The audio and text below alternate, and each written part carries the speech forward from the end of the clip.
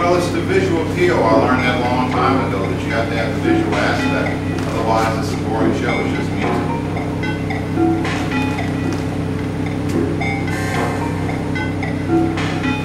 Yes, you can. And before we start, I'd like to thank Martha Collins to my right. She's the owner of the Depot. We will have the Summerfest One event Saturday, June 25th. Thank you for hosting us.